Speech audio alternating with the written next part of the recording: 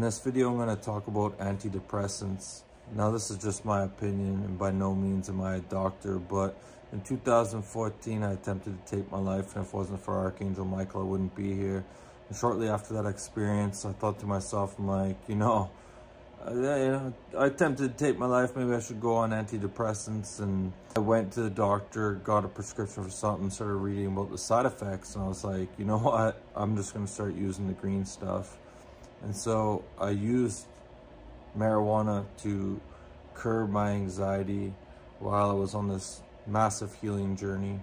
And once I got that under control, you know, one thing that I've come to learn about depression is that it's almost like a self-defense me mechanism. Like your soul is telling you that you're repeatedly doing something over and over that's taking away from your life force it's killing you inside. And so whether you're in a job that's killing your soul, you're in a toxic relationship, you're just not following your passion, you're, you know, abusing addictions. If you're depressed, it's your soul telling you that change is needed. And so you're going to go on antidepressants to just become numb to whatever your soul's trying to tell you. And you know, you're just going to continue doing what you were originally doing that was getting you depressed in the first place.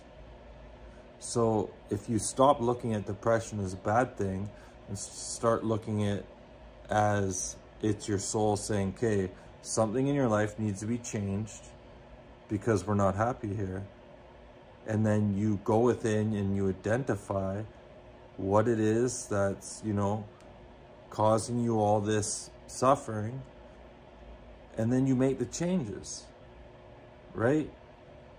You, you wouldn't want to be happy and blissed out if a tiger was running at you with a very hungry look on his face, would you? No.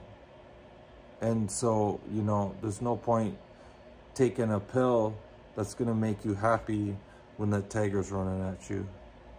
You know what I'm saying? So just something to think about. That's all I got. Thanks for watching.